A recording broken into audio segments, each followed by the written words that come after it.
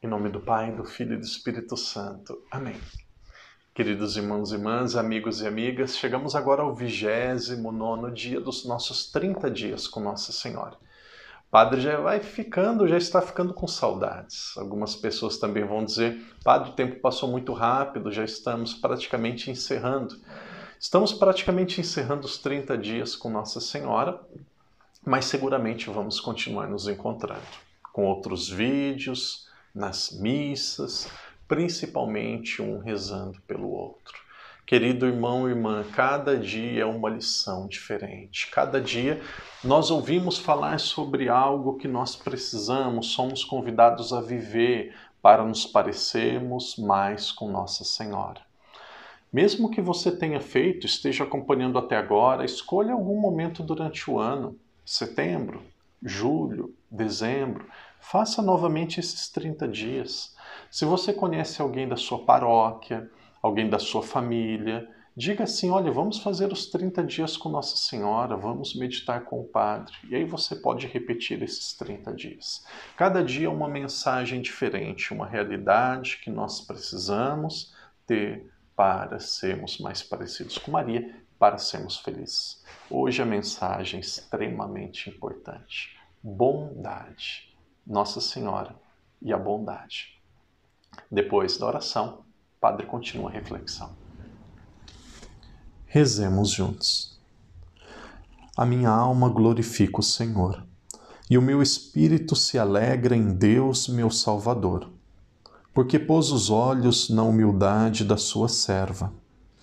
De hoje em diante me chamarão bem-aventurada todas as gerações o Todo-Poderoso fez em mim maravilhas, santo é o seu nome. A sua misericórdia se estende de geração em geração sobre aqueles que o temem. Manifestou o poder do seu braço e dispersou os soberbos. Derrubou os poderosos de seus tronos e exaltou os humildes. Aos famintos encheu de bens e aos ricos despediu de mãos vazias acolheu a Israel, seu servo, lembrando da sua misericórdia, como tinha prometido a nossos pais, Abraão e à sua descendência para sempre. Pai nosso que estais nos céus, santificado seja o vosso nome. Venha a nós o vosso reino, seja feita a vossa vontade, assim na terra como no céu. O pão nosso de cada dia nos dai hoje. Perdoai-nos as nossas ofensas, assim como nós perdoamos a quem nos tem ofendido. E não nos deixeis cair em tentação, mas livrai-nos do mal. Amém. Ave Maria, cheia de graça, o Senhor é convosco. Bendita sois vós entre as mulheres, e bendito é o fruto do vosso ventre, Jesus. Santa Maria, Mãe de Deus, rogai por nós, pecadores, agora e na hora de nossa morte. Amém. Glória ao Pai, ao Filho e ao Espírito Santo, assim como era no princípio, agora e sempre. Amém. Em silêncio, apresente agora a sua oração para estes 30 dias com Maria.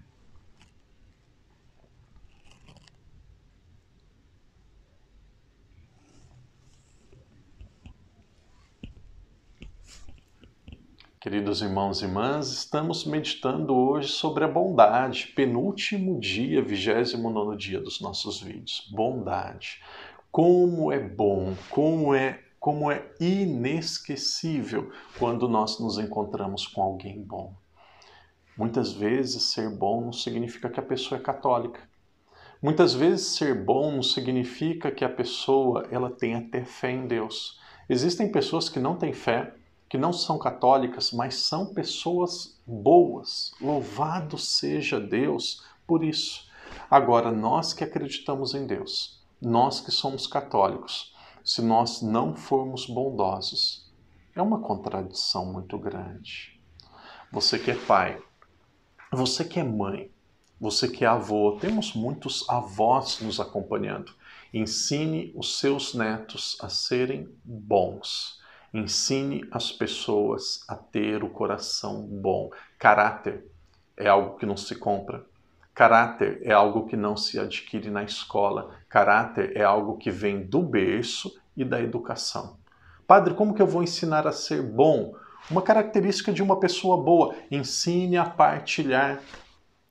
Muitas casas têm TV, tem frigobar, tem geladeira em todos os cômodos. Como que vai aprender a partilhar?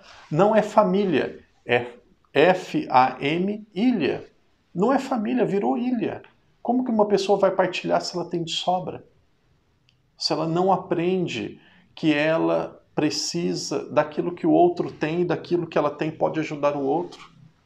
Querido irmão irmã, que as pessoas possam olhar a cada um de nós e que as pessoas que Deus nos confiou os outros também possam olhar para elas e possam dizer: esta é uma pessoa boa. O padre encerra dizendo assim: Deus queira que algum dia alguém olhe para você e diga assim: esta pessoa, padre falando de você, esta pessoa se parece com Jesus. Ela se parece com Nossa Senhora. Que elogio! Nossa Senhora e Jesus eram pessoas boas. Oração, missa, sacramento, fundamental. Mas nada disso valerá se não formos bons. Que Deus te abençoe e te proteja. Em nome do Pai, do Filho e do Espírito Santo. Amém.